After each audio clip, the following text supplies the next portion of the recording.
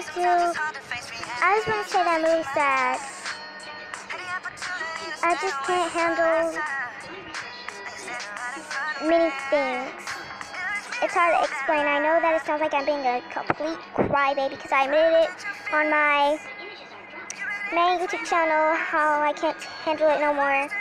But I wanted to say it on this channel too. You can look in the description to see more information if I don't make sense. What I'm saying is that ADP Wild, EODs are coming back. Yeah, I know that.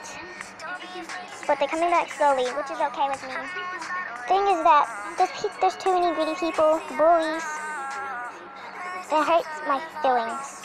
It breaks my heart.